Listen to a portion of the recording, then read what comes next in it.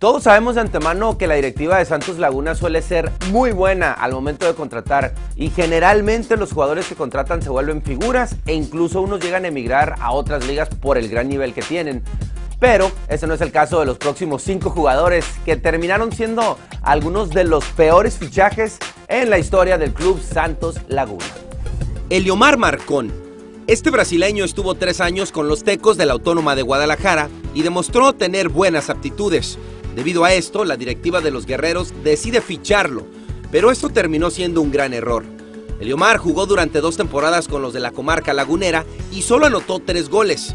Se volvió un gran lastre para el equipo y terminó relegado a la banca como un tremendo fracaso. Lisandro Garrido. Este defensor central chileno prometía ser el líder de la defensa de Santos Laguna. Sus credenciales en el Colo Colo de su país lo avalaban como un verdadero guerrero de mil batallas lamentablemente llegó muy cansado al fútbol mexicano y a pesar de que logró salir campeón con el conjunto lagunero, tuvo que hacerlo desde la banca, pues nunca logró ser titular.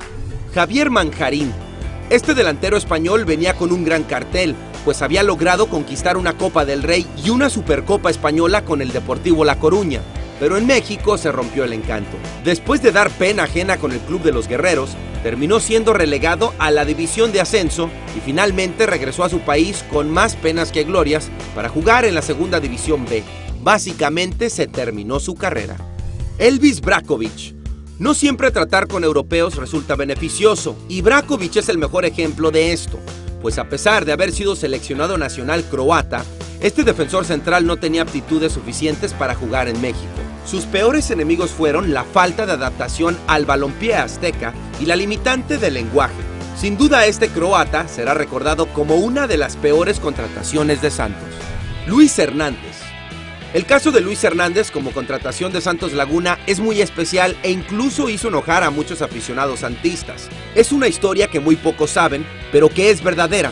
Y es que el matador fue contratado para jugar con los guerreros al final de su carrera, pero Hernández no estuvo de acuerdo y simplemente nunca se presentó a entrenar, decepcionando a todo el mundo y convirtiéndose en una de las peores contrataciones de la institución.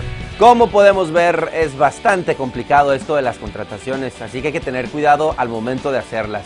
Si les gustó la publicación de los peores fichajes del Club Santos Laguna, compártanlo en sus redes sociales. Yo soy Guadalupe Venegas y los espero en nuestra próxima entrega.